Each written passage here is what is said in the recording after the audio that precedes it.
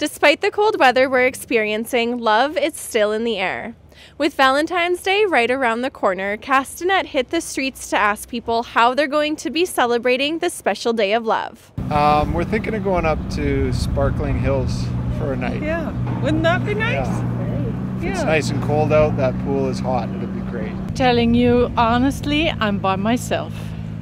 So I prepare and celebrate my own Valentine's. Go over to the West Coast Grill. They have wonderful oysters, glass of champagne. Enjoy, hopefully, sunshine, and be happy to be healthy. That's it. Oh! I think you should ask our husbands and see if they've got something really special planned for us. You know, And- and a I have- meal, flowers. And I have a hint. Not likely. We're going to sit out the Valentine's Day. If my wife will take me out for dinner, that'll be great. So, no plans so far. No plan. I'm working on it. He is, I'm not. Nothing. How come? We like to keep it simple. So, it's just a regular day. Yeah. Any reason? Ah. Uh, Because I'm romantic every day. yeah, sure.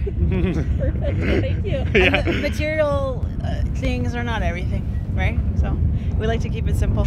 Well, we're probably going to have a fancy dinner together. Oh, walk our dog and play and eat chocolate cake. I don't know. There's just the two of us, so we'll probably uh, have, go out somewhere and have supper and uh, exchange cards and uh, call it a day.